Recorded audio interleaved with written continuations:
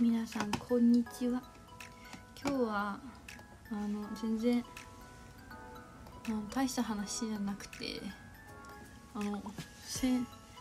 この間お父さんと喋ってて面白かった話を自分のメモ用に話すってやつなんですけど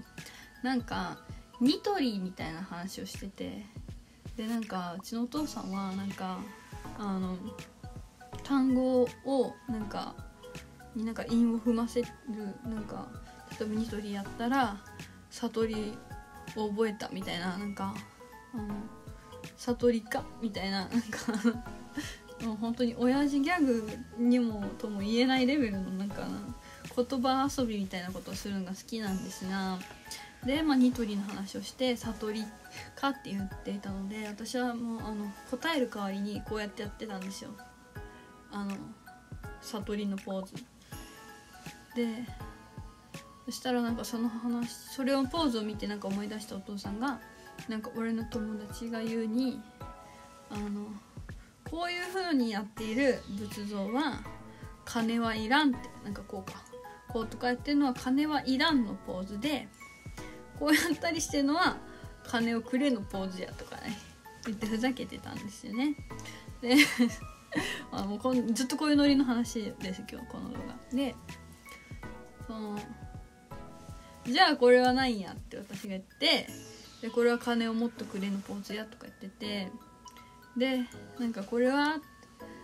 これはグッドやみたいなもう本当にあのおちゃらけたお話をしてたんですがこれは何やって言ってきて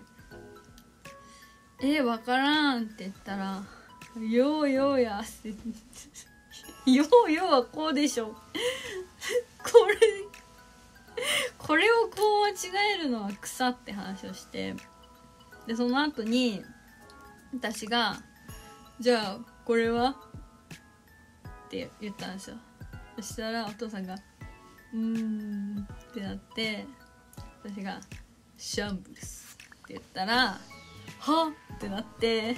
その後あの父と私同時にこうやってやって「じゃあこれは?」って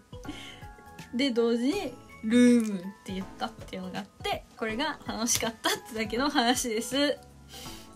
でこれはって私が言ったら「何やったっけ?」ダクトっていうところまでやりましたっていう